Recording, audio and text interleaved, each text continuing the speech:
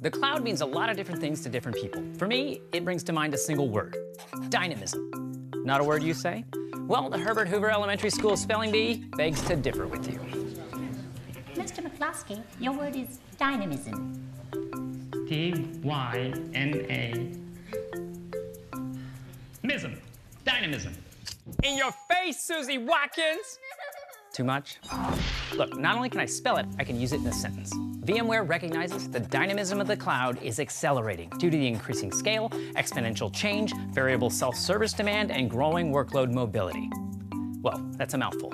So, with so much change across everything, how can you actually get a handle on health or performance or compliance? And what does that even mean? And don't even get me started on efficiency.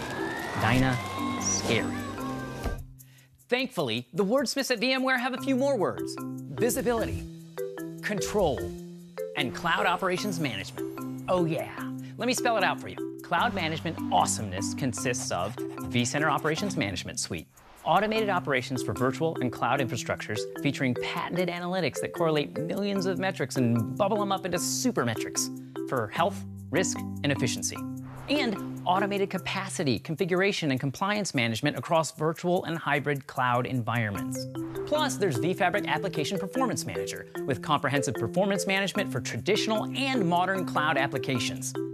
Used in a sentence, VMware Cloud Operations Management provides integrated analytics-based management across infrastructure, applications, and operations teams. Dynamism? Dynamite.